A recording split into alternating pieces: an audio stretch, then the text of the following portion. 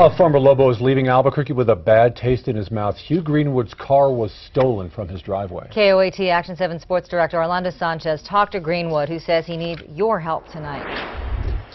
This isn't how Hugh Greenwood pictured his last day in New Mexico, filing a police report and calling the insurance company after someone swiped his car right out of the driveway.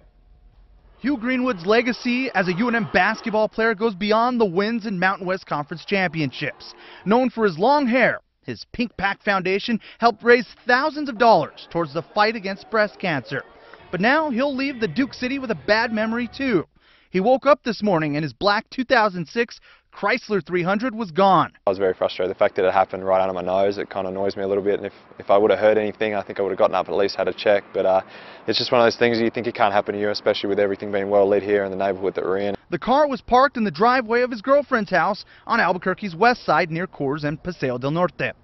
There were iPods and a GPS system inside, and Greenwood just had an audio system with new speakers installed. Some of his girlfriend's things were in there too.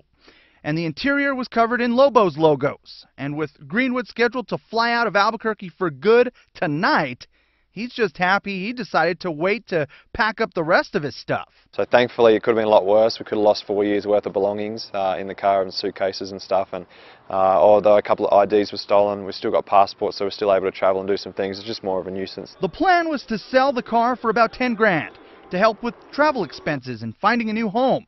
Greenwood is heading home to Australia to play pro basketball there and trying to keep a positive outlook about a place he called home for four very good years. The timing couldn't be worse, but it's just one of those things that happens. Greenwood says he will get something back. His insurance will cover some of the loss. If you have any information on this 2006 Chrysler 300C, please call the Albuquerque Police Department at 242 COPS. Now, the